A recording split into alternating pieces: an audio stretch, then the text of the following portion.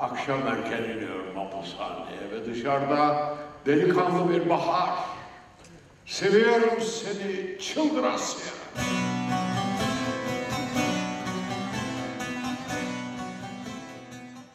Ben ortaokul yıllarıma, lise yıllarıma döndüm. Ülkenin dertlerini dert edinmeye başladığımız, aşık olduğumuz zamanlardı. Kendimizi ifade etmeye başladığımız zamanlardı. Sizinle aynı sahnede olmak, bu muhteşem performansı izlemek, bu havayı solumak bizim için paha biçilmez. Son dönemlerde verdiğiniz mücadelenin çok yakın şahidiyiz. Ama demokrasiye, insan haklarına, ifade özgürlüğüne olan bağlılığınız bu salondaki emin olun herkese ilham veriyor, umut oluyor ve eminim ki umut olmaya devam edecek.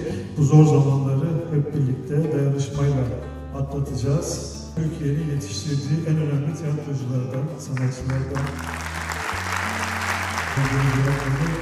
Beşiktaş'ta ağırlamış olmanın mutluluğunu, onurunu yaşıyoruz. Hep söylüyorum, Genco Erkal'a Beşiktaş'ın sahneleri, Beşiktaş'ın kapıları sonuna kadar açıktır, açık kalmaya devam edecek.